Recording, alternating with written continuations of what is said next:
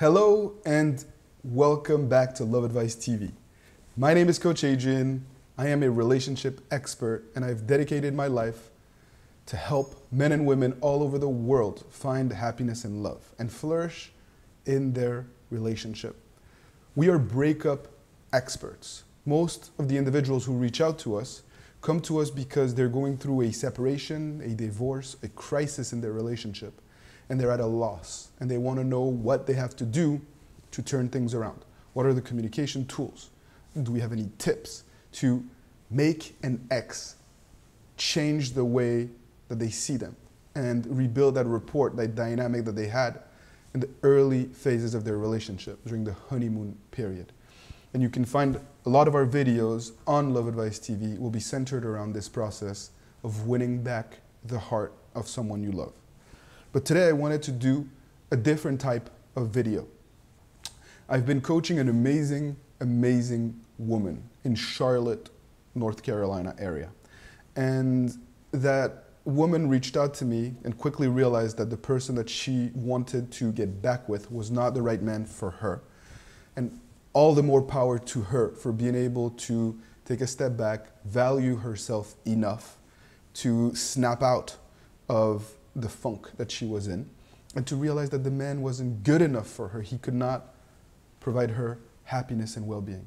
And so our focus quickly started to shift on helping her find the right guy for her, helping her build a common life project with a man. And she was frustrated because even though she was dating or meeting guys, it seems that she was not able to connect with the right type of guy. She would always feel disappointed at some point. And the question she asked for me is what is the attribute or characteristic that I should be looking for when deciding what guy to date or even what guy to commit to in order to build a healthy common life project? And it's an amazing question. And I felt that the coaching session was so productive that I wanted to do a video on this very topic. And the key point that I made during this coaching session is that you need to seek the man that is actually truly looking to make you happy.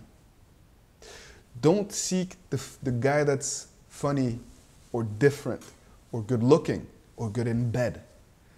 All those things ultimately will wither.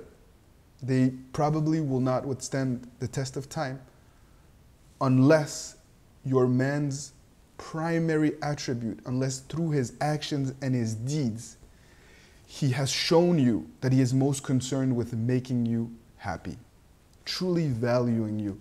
When his priority is trying to make you happy, the odds are that this is the right man for you. That this is someone that you can build a common life project with long term. Sometimes I know how hard it can be to date in this day and age. We often go through multiple partners. We tend to throw a relationship away as soon as we see someone's shortcomings and we get impatient, especially for you women who are older and looking to settle. The pressure is on, and oftentimes you get in your own head and you start to overthink things. Zero in on the guy who makes you feel good about yourself. The guy who's really truly trying to make you happy, not trying to seduce you, not trying to get in your pants, not trying to use you in any way, shape, or form, but truly makes you happy or is aspiring to do that as in any case because that's the man that you will be able to count on when the going gets tough when the ups and downs will surely come because every relationship is tested every relationship will be tested and you want to have the right partner that is the foundation for you women that is the attribute that you should be focused on the next time you go out on a date or when you're evaluating if this is the right partner for you long term.